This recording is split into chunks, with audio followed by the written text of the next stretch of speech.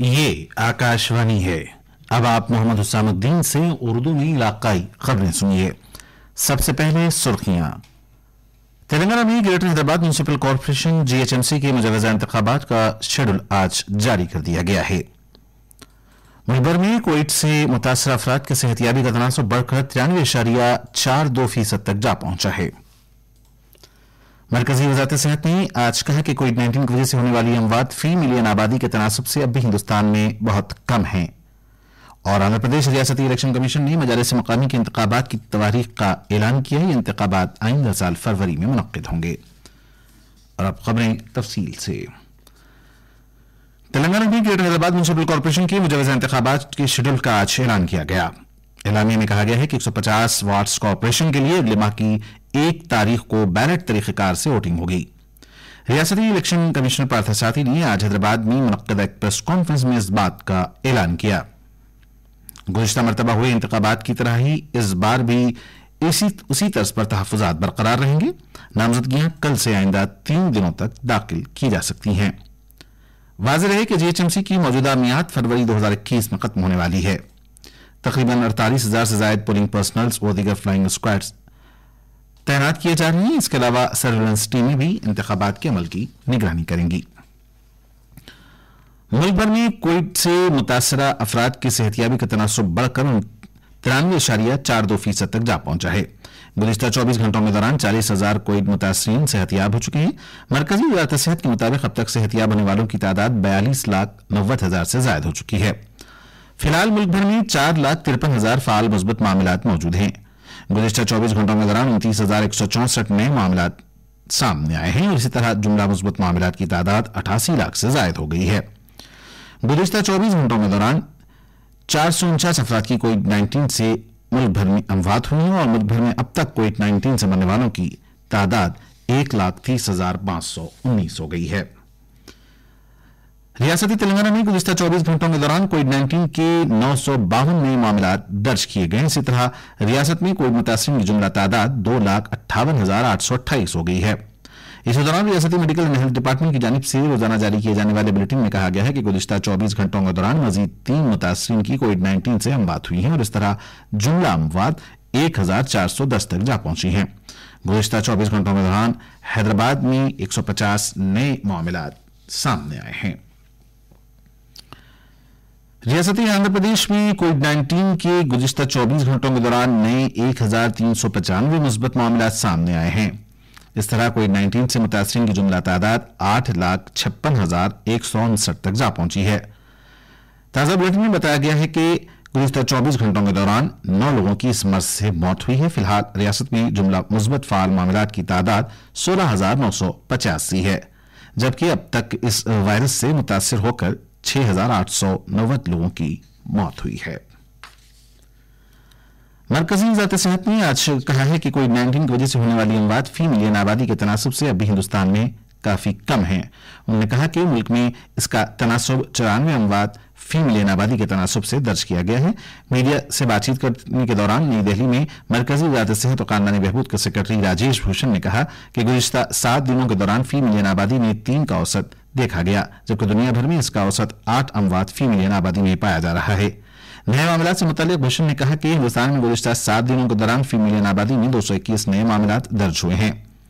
उन्होंने मजीद कहा कि मुल्क भर में नए मामला की रफ्तार में कमी हुई है और गुजशत चौबीस घंटों के दौरान उनतीस हज़ार एक सौ तिरसठ नए मुस्बत मामला सामने आए हैं। आंध्र प्रदेश रियासती इलेक्शन कमीशन ने मजालस मकामी के इंतबात की तवारीख का ऐलान किया है। ये इंतबात आइंदा साल फरवरी में मुनद होंगे। इलेक्शन कमीशन की जानब से तमाम सियासी जमातों से बातचीत के बाद ये ऐलान किया गया है।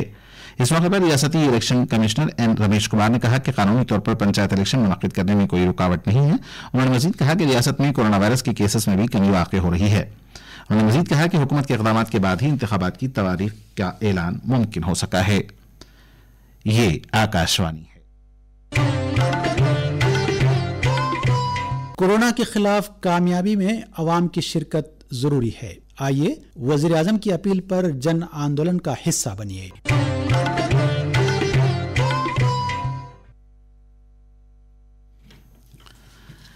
ये खबरें आप आकाशवाणी से सुन रहे हैं।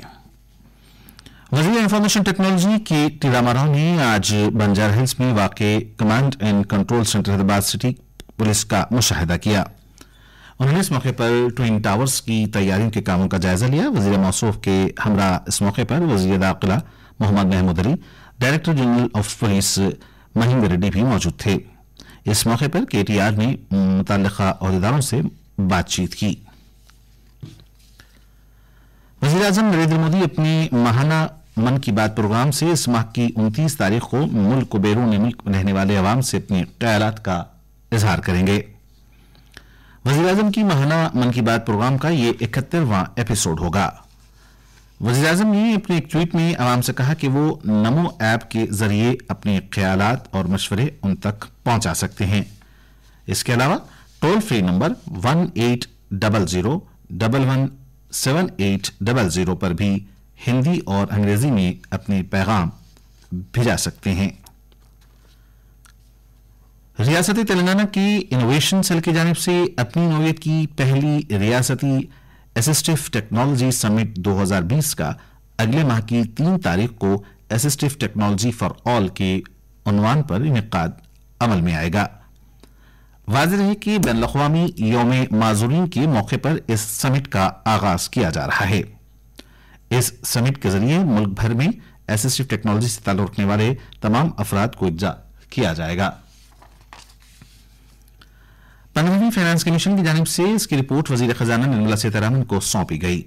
इस रिपोर्ट में इसका अनवान finance commission in covid times रखा गया है। मरकज और रियासत के दरमियान आइंदा पाँच सालों में टैक्स की तकसीम से मुतल मालूम फराहम की गई हैं। आइंदा पार्लियामेंट इजलास में वजी खजाना इस रिपोर्ट को हुकूमत की अमलावरी रिपोर्ट के साथ ऐवान में पेश करेंगी। कमीशन के चेयरमैन और मेंबर्स की जानब से 2020 2021 बाईस से 2025 तक 26 तक की रिपोर्ट कल ही वज़ीर नरेंद्र मोदी को सौंपी जा चुकी है। टीआरएस पार्लिमानी पार्टी और लेजिस्लेटिव पार्टी का खसूसी इजलास कल दो बजे तेलंगाना भवन हैदराबाद में मुनद होगा। इजलास की खैरत पार्टी सदर के चंद्रशेखर राव कर सकते हैं। तमाम अरकान पार्लिमान, अरकान कौंसिल और अरकान असम्बली को इजलास में शिरकत करने के लिए कहा गया है।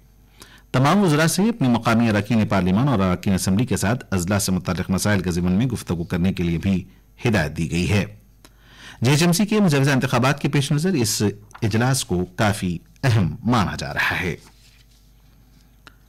वहीं दूसरी तरफ़ तेलंगाना प्रदेश कांग्रेस कमेटी के सदर उत्तम कुमार रेड्डी पाँच पार्लियामेंट्री हल्कजात के इलेक्शन कमेटियों का आइंदा एक दिसंबर को होने वाले जीएचएमसी इंतबात के जिमन में इजलास मुनद कर रहे हैं। कांग्रेस की जानब से फौरी तौर पर जीएचएमसी इंतबात के लिए उम्मीदवारों के नाम के ऐलान किए जाने की तो है। वज़ीर अजम नरेंद्र मोदी बेंगलुरु टेक समिट 2020 का 19 तारीख को वीडियो कॉन्फ्रेंसिंग के ज़रिए अफ्ताह अंजाम देंगे। इस समिट का मौजू नेक्स्ट इज़ नाउ रखा गया है। समिट में कोविड के बाद की दुनिया और इससे निपटने के लिए टेक्नोलॉजीज़ और इनोवेशन की तरक्की के जिम्मन में बातचीत होगी। मुख्तलिफ़ इंफॉर्मेशन टेक्नोलॉजीज़ इलेक्ट्रॉनिक्स और बायोटेक्नोलॉजी से वाबस्ता अफराद इसमें शिरकत करेंगे। इस समिट में ऑस्ट्रेलिया के वजी अजम स्कॉट मॉरिसन, स्विस कॉन्फेडरेशन के नायब सदर जी पैरामेरन और दीगर मौजूद शख्सियात भी शरीक होंगी। स्टेट प्लानिंग बोर्ड के नायब चेयरमैन बी विनोद कुमार ने आज कहा कि तेलंगाना राष्ट्रीय समिति पार्टी के हर फर्द का बराबर ख्याल रखेगी। विनोद कुमार पार्टी के रुकन श्रीनिवास के अफराद खानदान से आज थंगरापल्ली में बातचीत कर रहे थे। श्रीनिवास बड्डी पडागांव सैलाब में सिद्दीपेट डिस्ट्रिक्ट में अपनी जान गंवा बैठे थे। विनोद कुमार अलहदा तेलंगाना तहरीक में वजी अला के चंद्रशेखर राव के साथ काफ़ी मुतहरिक थे। और आखिर में सुर्खियाँ एक बार फिर। तेलंगाना में greater Hyderabad municipal corporation GHMC के मुजवजा इंतबात के शेड्यूल का आज ऐलान किया जा चुका है। मुल्क भर में कोविड नाइन्टीन से मुतासर अफराद की सेहतियाबी का तनासब बढ़कर तिरानवे अशारिया चार दो फ़ीसद तक जा पहुँचा है। मरकजी वजारत सेहत ने आज कहा कि कोविड नाइन्टीन की वजह से होने वाली अमवात फ़ी मिलियन आबादी के तनासब से अब भी हिंदुस्तान में काफ़ी कम है। और आंध्र प्रदेश रियासती असम्बली, रियासती इलेक्शन कमीशन ने मजालिस मकामी के इंतबात की तवारीख का ऐलान किया है। ये इंतबात आइंदा साल फरवरी में मुनद होंगे। आकाशवाणी से उर्दू में इलाकाई खबरें